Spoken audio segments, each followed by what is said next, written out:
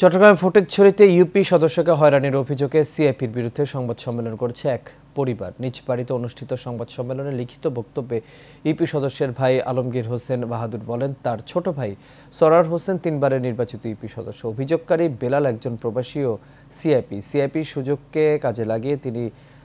সরোয়ারের বিরুদ্ধে মিথ্যা চাঁদাবাজির অভিযোগ করেন মিথ্যা অভিযোগের তীব্র নিন্দা ও প্রতিবাদ জানিয়ে বেলালের বিরুদ্ধে আইনগত ব্যবস্থা গ্রহণের দাবি ভুক্তভোগীদের